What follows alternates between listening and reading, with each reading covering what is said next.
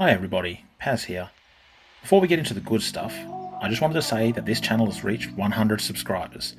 I know that isn't a big number on the YouTube scheme of things, but it's about 99 more than I thought the channel would get. So a big thank you to everyone involved. I am very humbled and grateful for the support and the interest. Now, on to the show. Well, we're back. After a fantastic holiday in Japan, we touched down back in the land of Oz.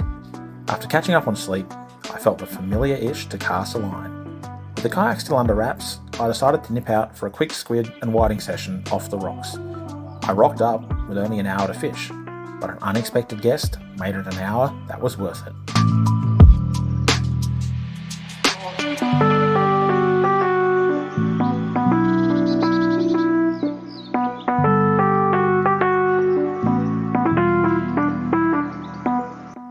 It took me all of two casts to see that squid weren't going to happen.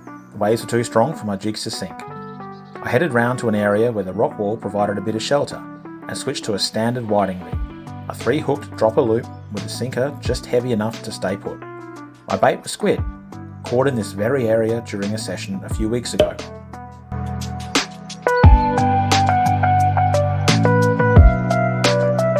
After 45 minutes of nothing, I was getting ready to pack it in. My bait was getting shredded by the blowies, and I was due to meet Uncle Matt soon. Feeling flat, I hurled my rig out, aiming for a small weed bed further from the wall. It was a Hail Mary cast, born more out of frustration than anything else, and it paid off.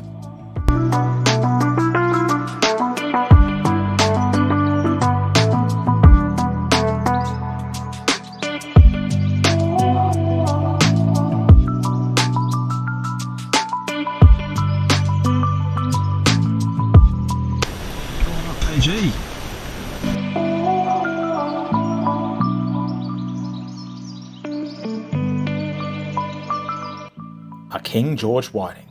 Huge surprise, especially this close to shore.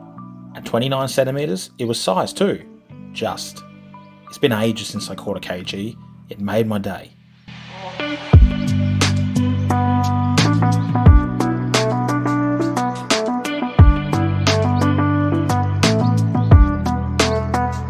I decided to release it. I had a full freeze already, I didn't relish the thought of it sitting in my car for hours and hours while I was out. Besides, this session was more to chill than to catch, so back it went.